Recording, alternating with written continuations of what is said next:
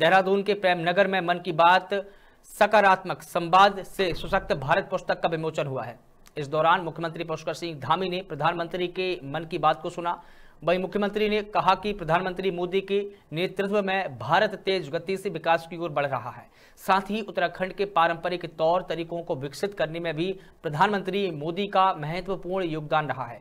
इस दौरान स्थानीय विधायक सहदेव सिंह पुंडीर, प्रदेश महामंत्री आदित्य कोठारी, बीजेपी के तमाम कार्यकर्ता शामिल रहे।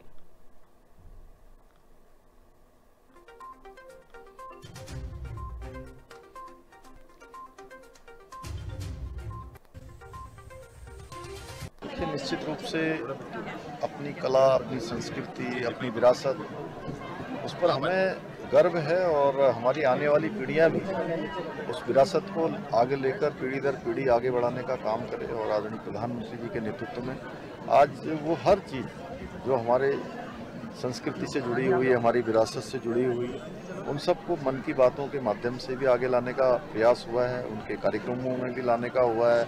आज़ादी का जो अमृत महोत्सव माननीय प्रधानमंत्री जी के नेतृत्व में देश की आज़ादी के 75 वर्ष हम सब लोगों ने जिसका उत्सव मनाया है, उसमें भी उन्होंने किया और आज भगवान राम का भव्य और दिव्य मंदिर बनकर तैयार हो रहा है।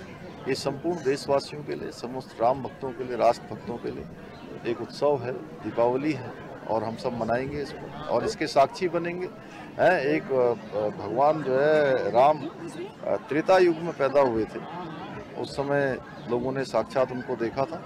और हम भी जो है त्रेता युग की तरह ही जो है, आज संपूर्ण देशवासी, दुनियावासी उस पल के साक्षी हो रहे हैं, जब भगवान रामलला अपने स्थान पर विराजमान हो।